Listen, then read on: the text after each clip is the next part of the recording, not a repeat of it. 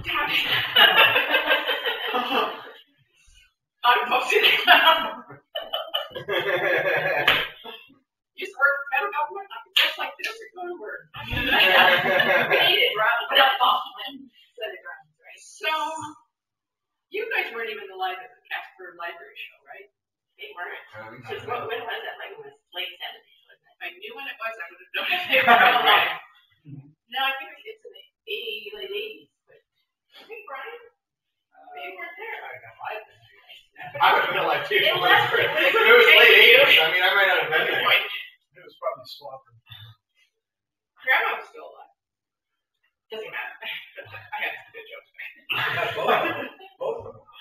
Alrighty, so where over there shall we start?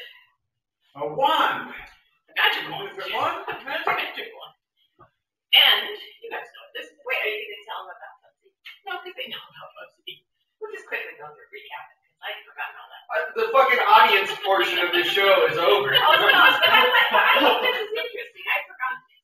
So what's my name was Fubsy the Clown.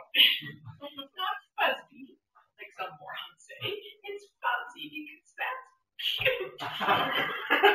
and, which you can tell from my performing table, that it's invisible on it, or my banner, Fubsy the Clown is exactly half the alphabet. Thirteen letters, all different. Now, how weird is that? And for magicians, tired of me yet?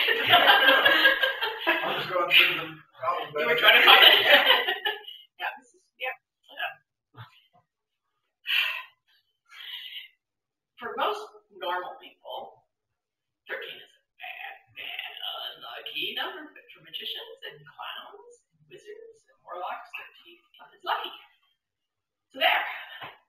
All right. And to fub is an old English word that means to trick. So it goes perfectly with the magic. Hey, you made a cat appear. and like ta-da! and fubsy is an old English word that means short and squat. So how perfect is that? So that is my name. And the way she found the word fub in the dictionary. You don't tell kids that. Oh, But since you asked, remember when? Oh, you know, He knows. yeah, you probably know. The Merriam-Webster Fleet Dictionary didn't used to have dirty words in it, and then when they started putting them in, it was all the rage to see how many we could look up. So I was of course looking up fuchsia. right, but it was Fubsy and just so